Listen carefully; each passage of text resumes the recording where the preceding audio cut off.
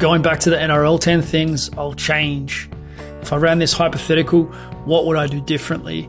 Uh, is a question that I asked myself. And maybe this will help you with changes that you might want to make to your program, things you want to consider about how to get yourself to the place that you want to be as a coach or as an athlete. Uh, I was fortunate enough to have worked with the Sydney Roosters during three premierships uh, including the 2013 season, which began the dynasty of the Roosters. Uh, in that season, it was a record breaking season in terms of teams held to zero scoreline. And it was also, uh, we won the regular season, the, the finals, you know, the grand final, the World Club Challenge, the club championship. So everything that could be won was won that year in a year where we weren't tipped to make the playoffs. Um, what part I played in that is is hard to say. You can't look back. You can't uh, know what the scenario would have been with a different strength training program, different nutrition, different speed, um, the different influences. So my component in that is only ever going to be one thing, or at least uh, you know it doesn't tell you the whole picture. But what you can do is you know do what you believe in most as well as you can. So I'm going to share some ideas on what I would change in that future scenario if I was to take it on uh, in the near future. All right, so number one, more reverse sleds. The reverse sled is a very, very simple tool and it's a very powerful, effective one. I've seen some of the most athletic humans that I've ever met have been extremely fast on reverse sleds. So this would be like a test and something that I would use as a speed test. Uh, I would have players going against each other, guys in the same positions. I would use it as a conditioning tool. I would use it as a speed tool. Uh, we would be doing a lot more of them probably pre-session for quite a few guys who've had chronic issues with the knee, guys who've had surgeries before, uh, post-session for extra top-ups, and yeah, taking out a lot of the traditional running to put this in. So you can't get the same sort of metabolic stress through running that you can get through reverse sleds. So uh, backwards uphill running is probably pretty similar.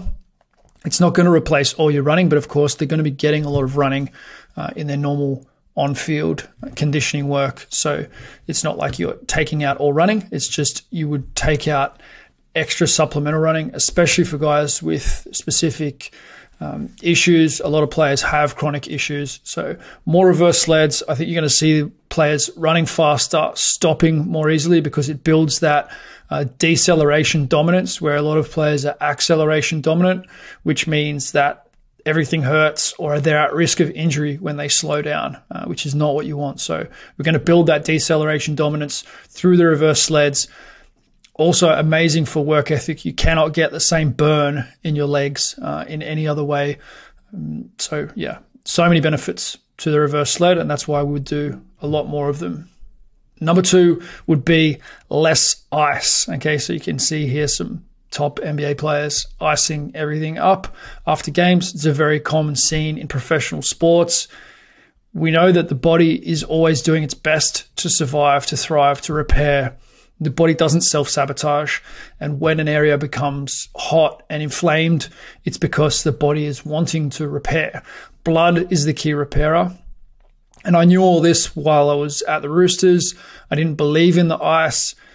It, this and you know a couple of these are quite challenging, controversial because as the depending on what your role is within the organization, it depends on how much you can actually influence this. But I know top players at the moment with soft tissue injuries who are being told to ice their injury. Uh, that's going to lead to poorer quality tissue, uh, more injury, slower recovery from injury.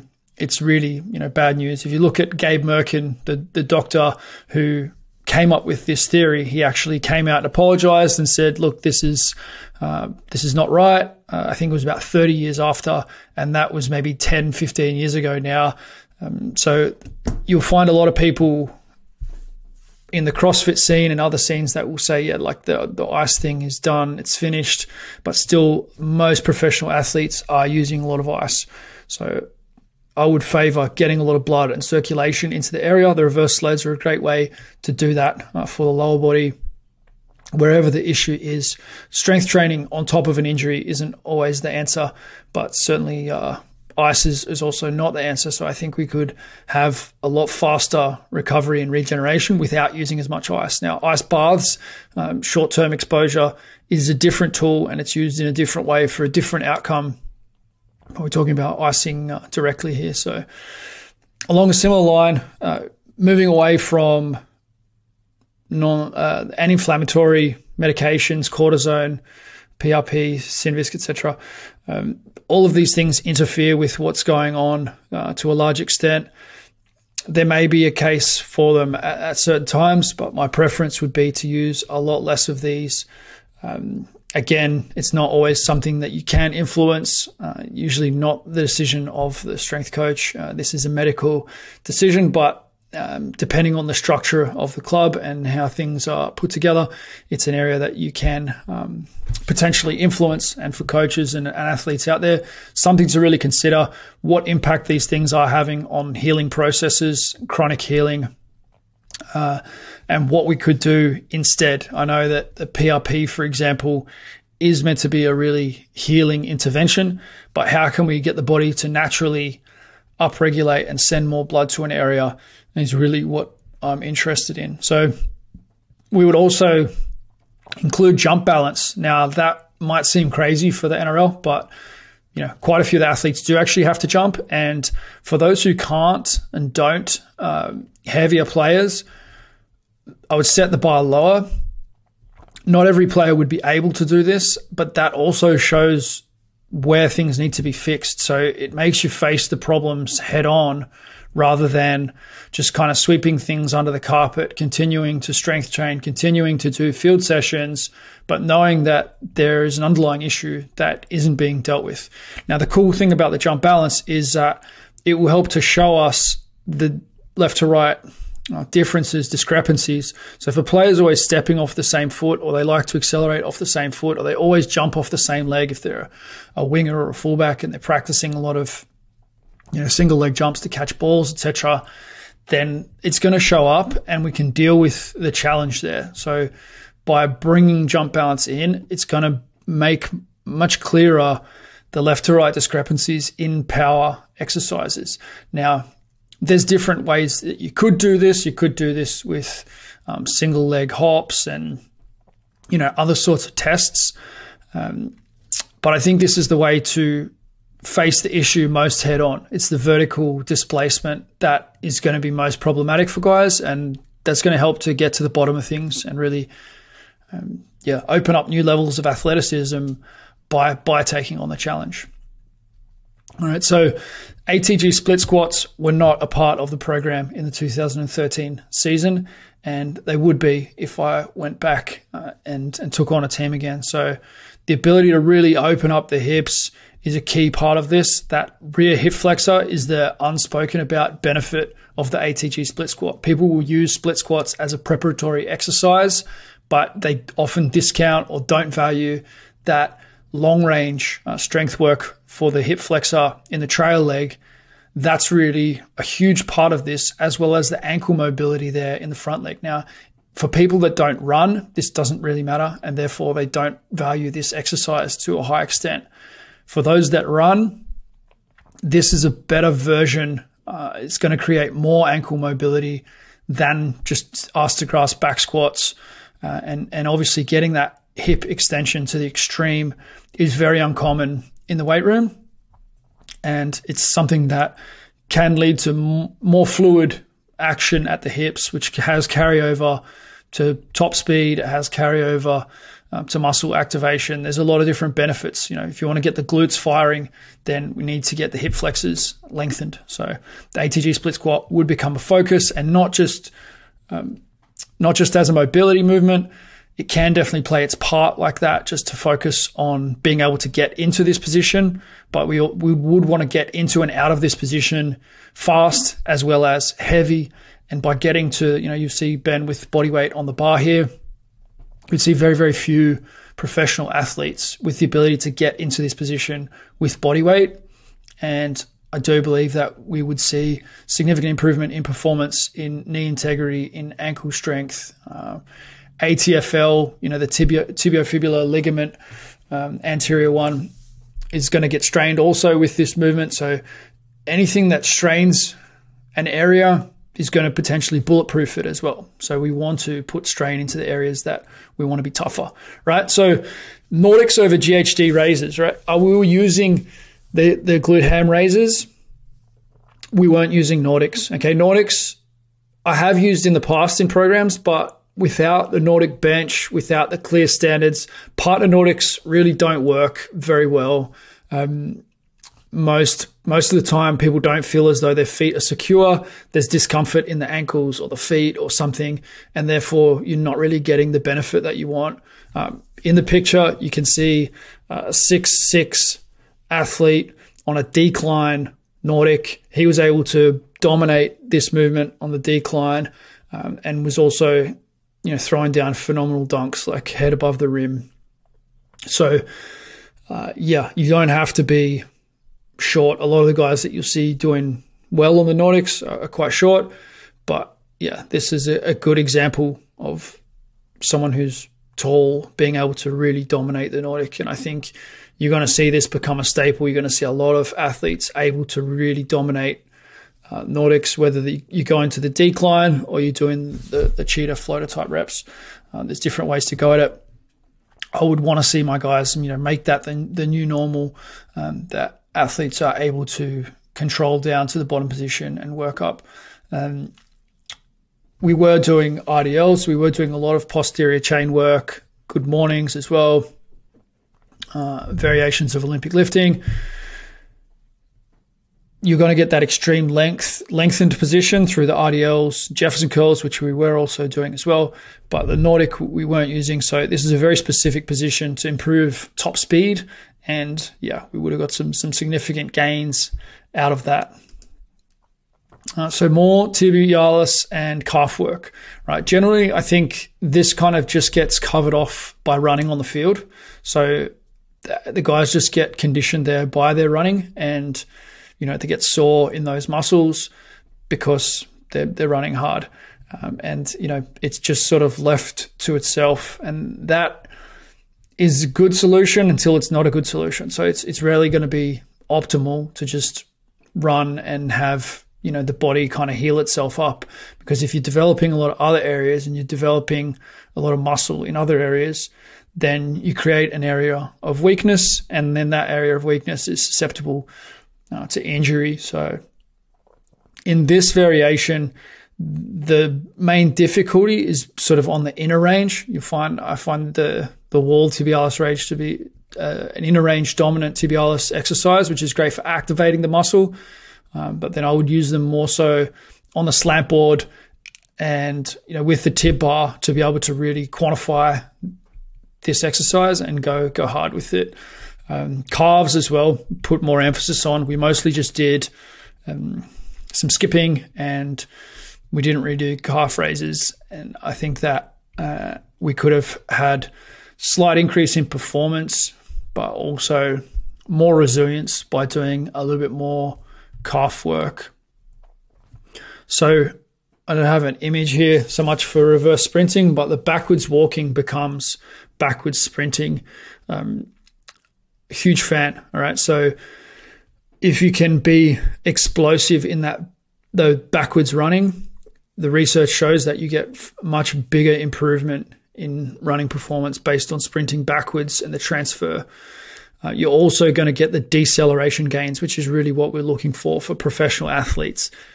You want to be able to accelerate, but you don't want to be able to accelerate more than you can decelerate. So the ability to stop is really what we what we want, what we're focusing on. Um, we didn't do any reverse sprinting, and I think uh, it would have been very very interesting. I think introducing this stuff into a into a team and to players who've had chronic issues, you get all sorts of things showing up, and then soon enough, you know, the body will adapt and it just becomes the normal, and everybody will be doing it. But I think initially you would see huge differences between the speed guys can generate on reverse sleds or the speed they can generate uh, running backwards. And it might actually be a really good diagnostic tool to say, oh, yeah, well, that guy has had the, the chronic issues. And look at this, he's, you know, 70% you know, of, of what the team average is on this movement, where maybe that doesn't show up in their top speed work. Definitely, it doesn't show up in their top speed work. Like you won't see those huge discrepancies, which I think you will see when you introduce these new movements, even with tibialis and calf raises, things like that. Okay, so more Peterson step ups would be another thing. Why would we add more Peterson step ups? The Peterson step up is going to load the ACL it's actually recreating the kind of forces and tension that snaps the ACL. Uh, it's recreating the mechanism. Therefore, by putting stress pressure on that ligament, I think you're going to see increased strength, tensile strength in that ligament. Anything that's put in a cast, anything that's not loaded, we know in the body is going to decondition and it's going to become more susceptible to injury. So the opposite of that is to train it, is to develop it, put load into it, progress that load, and then progress the speed with which that load can be handled. And good things will happen. So the Peterson is the most proven ACL preventer, uh, according to the, the Poliquin method and Peterson himself, the statistics with the Canadian um, skiers and Winter Olympic sports, downhill skiers. They got phenomenal results with this. Together with the Nordic, the Nordic you know, pulls from the back and then you know, having a super strong VMO also helps to support. Um, so that's the variation here on the right for those who are watching uh, the slideshow. So clear targets is the next thing. Uh, we can be very, very clear about what numbers need to be achieved here. And we can identify in the matrix of the ATG system where the strengths are and where the weaknesses are. And if an athlete can see that and have that laid out in front of them and say, look, there's, there's, this is where the biggest potential uh, areas for failure are, the biggest possible weaknesses, we know where to put increased training volume. And if you can be really coherent and clear with this with athletes, but also with coaching staff, if you can say, look, you know, this guy has been in and out for years. This is what his numbers are showing. Like he's this much down compared to the rest of the squad compared to where we want him to be He's this much down. Can we have two weeks to focus on improving this? Can we have a month? Can I can can we make it an effort to to train over the Christmas period on these two movements so that that um, issue can be can you know be eradicated? I definitely didn't have this dexterity as a coach, um, understanding exactly where players sit in this matrix. We did have a lot of numbers, and I could see, you know, where the strengths were, where the weaknesses were, and there've been there's been a lot of money invested in these sorts of systems. I've seen systems from different coaches with the spider plots and all these things, and they're great, and often they look really good. But the devil's in the details, and the details that matter in this are whether it's on a ground up, you know, whether the philosophy underpinning the, the scores is going to actually improve performance. Like that's really uh, what we need to know. So just by measuring things doesn't help. You know, you can measure, okay, what are their bicep curls and what are their tricep extensions and, you know, how, how strong are their glutes. But if they're not built right from the ground up, then it doesn't matter what your numbers are, and you can't deduce anything from the scores about how fast they're going to run or how resilient they're going to be. And I think it's particularly this area of resilience. Like the number one thing in a program is to decrease injuries. If you can have your players on the field, you lose, use the least number of players for the season, you have players consistently training. Like that is the biggest thing. Uh, they talk about superheroes. All right, so the superhero that's the last man standing, the hardest to defeat in superheroes. I was listening to Michael Saylor talking about this in relation to money, in relation to engineering, in relation to Bitcoin. But the thing that can't be broken, the superhero that can't be damaged, is actually the, the most valuable one, right? So eventually, the one who has the defense mechanism will be the winner because it can't be touched. So that's the most, the biggest superpower to have. And I've seen athletes make their career out of being extremely reliable, resilient. They play week, week in, week out.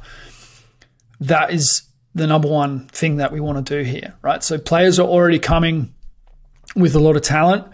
Our goal is to upgrade the hardware and make them connective tissue dominant so that they can continue to play, right? So our targets and our ATG performance matrix has to tell us whether the athlete is connective tissue dominant or is extremely muscle dominant and therefore at high risk. We have to know where the areas of weakness are and to be able to quantify the level of you know tendon connective tissue weakness relative to muscle weakness. So this would be the real goal aim matrix, you know, that I would share with the player and with the coach. So everything is really clear. And then over time, that data will obviously get better. ATG is still you know, in its infancy, and these kind of matrix have been used for a long time, but not with these sorts of numbers. So the numbers is really what make all the difference. The movements that are selected and the quality criteria around the movements. So I think this is where we're going to see a huge change in elite sports, and that's what I'm really excited about. So I have had the opportunity to implement this system uh, for a month with Sonny Bill Williams. The results from that program were phenomenal. Uh, he said that it was the best he's run in years. I also ran the best I'd run in years. We had other players who were at the event who also were very, very excited about the changes that they felt in their body in a short period of time. You really can get a significant change in a short period of time. Often the underpinnings are there with high level athletes. Uh, it's just the right areas aren't being challenged in the right ways to optimize uh, movement. So it's yeah, you can get a significant shift in a short period of time, and we did see that at that camp. Now there were other factors involved in what happened after that. You know, Sonny didn't really get to express a lot of that, but he did end up, you know, finishing his career back at the Roosters, um, where yeah, no one can know whether he would have done that. You know, um, and we did do some preparation also for the World Cup, and we applied some of this philosophy uh, when Sonny was in doubt for the World Cup. I went over there um, to work with him when he was concerned that he wasn't going to make the World Cup. Uh, had 10 days over there and we did some work on on things we did some things that are different to what's done conventionally he did end up going to that world cup uh, and he signed the biggest contract in history uh, shortly after that uh, to play with the toronto wolfpack I don't know what role I played in any of that. All I know is that I did my best and that we did things that most teams, most clubs, most trainers uh, are not doing. My feeling is that it was it was the good stuff and it really made a massive positive difference. I know it did for myself. And so I hope you enjoyed that. Uh, I do. I don't know whether I will ever go back and work full time in a, professionally in a team. Uh, it's probably pretty unlikely at this stage with uh, the way things are going in the world and the way things are going in my own business and life. But I do still, you know, really, really love uh, seeing professional athletes thrive. And I do think we can do these things better.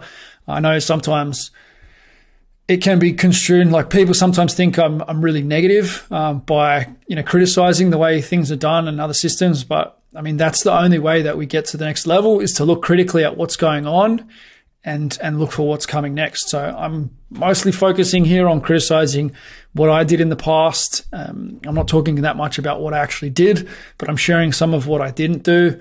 And you know, I, I think that there is a lot of value in that. If we look back at what we've done and say, yeah, this could have been done better, you know, that's it's it's it's positive and you know can have a real uh, important output, um, important impact on on the future. So I'm going to do another one of these, uh, diving more into the underpinning uh, philosophies and checklist, I guess, for coaches to know if they're putting together a good program or if they're putting together a program which is likely to result in in more injuries.